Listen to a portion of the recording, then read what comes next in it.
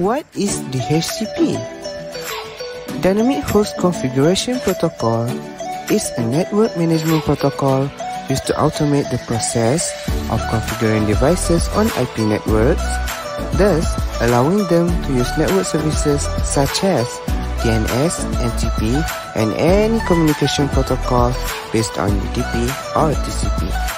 A DHCP server dynamically assigns an IP address and other network configuration parameters to each device on a network so they can communicate with other IP networks.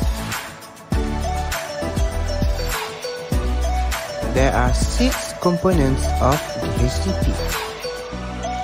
DHCP server, the DHCP client, DHCP relay, IP address pool, subnet, and lease.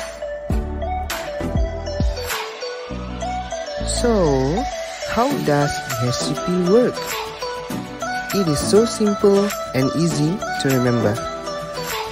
Like, the first step is when the client send discovery packet to the DHCP server and they say like, hey, I'm a new device and I don't have an IP address yet. Please give me one. And then the server will respond with the HTTP of a packet. And here's your IP. And then the client takes the IP address, then send the request message. And then the client take the IP address as their address. After that, the server then update the appropriate IP address and other configuration information for the clients.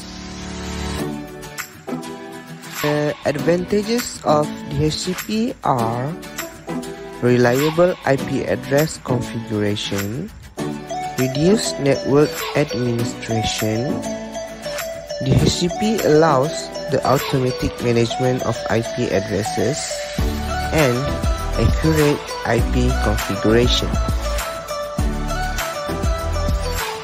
On the other hand, the disadvantages of the DHCP are the DHCP automation can be a serious security risk if a rogue DHCP server is introduced to the network. Only a single DHCP server is in place. It forms a single critical junction where failure can erupt from a single issue to a system-wide problem.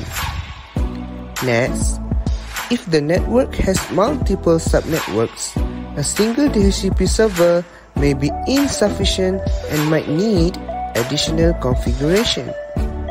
Last, not all DHCP clients function properly when connected to Windows Server 2003.